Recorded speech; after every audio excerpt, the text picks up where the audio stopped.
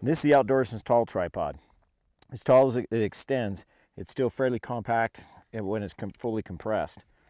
But uh, as you can see with, this, with the two extensions on each leg, you get a tremendous amount of height out of it, which is awesome in those situations where you're in sagey country or you got a hill that's just not very sharp and you're forced to stand up in glass. You just can't see over brush because it'll give you a full extension.